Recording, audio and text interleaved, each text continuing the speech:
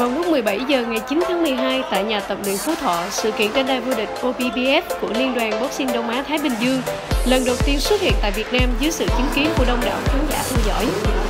Sự kiện lần này có tất cả 5 cặp đấu, đáng chú ý là trận đấu giữa Puru Hansi và Jutichai wanawan trên đai OBBF Silver và trận đào Nguyễn Anh Tuấn gặp Nguyễn Thanh Thảo trên chiếc đai OBBF National. Cả hai trận trên đai vô địch đều kết thúc bằng những cú knock-out hạ gục đối thủ. Đào Nguyễn Anh Tuấn đối đầu với Nguyễn Thanh Thảo trong trận tranh đai obvf National. Tuy nhiên chỉ đến hiệp 2, anh Tuấn mới liên tiếp những cú hút và uppercut liên hoàn đã khiến Thanh Thảo gục ngã trên sàn đấu và anh trở thành võ sĩ đầu tiên của Việt Nam giành chiếc đai obvf National. Mình cái vinh dự ờ, người đầu tiên, công đầu tiên của Việt Nam. Thật sự thì uh, có được chiếc đai này nó là nó chỉ là một uh, sự khởi đầu,